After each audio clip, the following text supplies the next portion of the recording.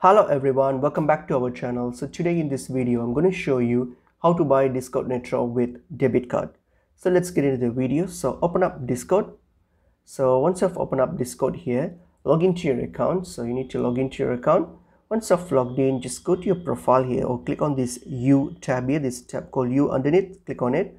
And then when you click on your tab here, You tab, so there'll be a Nitro option here. So simply select that so that we can buy Discord Nitro. So select that and then choose the choose how you want this the basic uh, package depending on your requirement.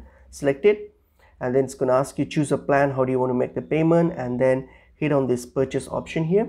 So when you hit on the purchase option here, this will open up the payment methods. So simply select the payment method option here. So there will be option here. So select that.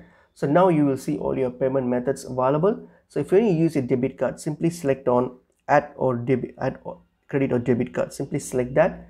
And what you have to do is simply type in your card, your card details, your debit, your debit card details, and then hit on save, and then proceed with this um, purchase. Just complete the purchase. So this you can use your your card to complete this purchase. So that's uh, pretty much it is. It's pretty easy and straightforward.